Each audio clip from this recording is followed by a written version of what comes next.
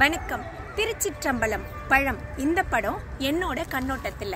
பிரசாந்த் ஷாலினி நடித்த பிரியாத வரம் வேண்டும் படத்தின் பழைய கதை தான் என்றாலும் திரைக்கதையில் கொ- தமிழ் நம்மளை கொஞ்சம் கூட சோர்வடை வைக்காம படத்தை எடுத்து சென்றதுக்கு நம்ம டேரக்டருக்கு கண்டிப்பாக ஒரு மலர் சென்று கொடுத்து தான் ஆகணும். படத்தின் ஆடியோ ரிலீஸில் வெற்றிமாறன் சார் பேசினதை இங்கே நம்ம சொல்லி தான் ஆகணும். படத்தின் மூன்று தலைமுறையினர் படி நடிப்பு அசுரர்கள். Bharathi Raja sir Prakash Raj sir Dhanush sir நடிக்கிறாங்கன்னு சொன்ன உடனேவே இந்த படத்தை பார்க்கறதுக்கான ஆர்வம் நம்ம எல்லாருக்குமே அதிகமாயிடுச்சு.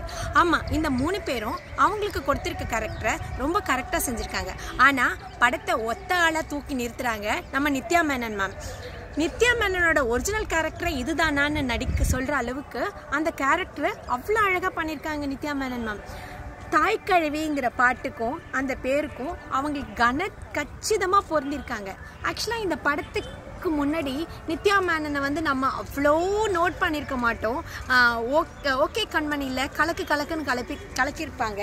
ஆனால் இந்த படம் வந்தோடனே நித்யா மேனன் மாதிரி ஒரு ஃப்ரெண்டு நமக்கு இல்லையோ அப்படின்னு சொல்கிற அளவுக்கு நைன்டிஸ் கிட் எல்லாருமே ஆசைப்படுற அளவுக்கு தனுஷ் சார் அடிபட்டு ஹாஸ்பிட்டலில் இருக்கும் போதாகட்டும் கனடாவுக்கு ஃப்ளைட் ஏறும் போதாகட்டும் நம்மளோட நடிப்பில் தன் நம்மளை எல்லாரையுமே கண்கலங்க வச்சிடுறாங்க நித்யா மேனன் படத்தின் முன்பாதியில் ஒவ்வொரு ஃப்ரேம்லேயும் நம்மளை சிரிக்க வைக்கிறது பாரதி ராஜா சார் தான்.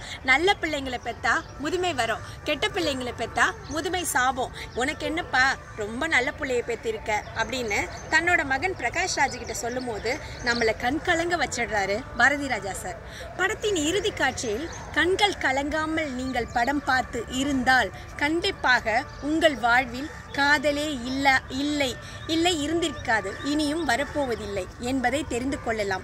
திருச்சிற்றம்பலம். அனைவரும் கொண்டாடும் திருவிழா என்றாலும் பழம் ஒரு இனிப்பான பஞ்சாமிர்தமே. தேங்க்யூ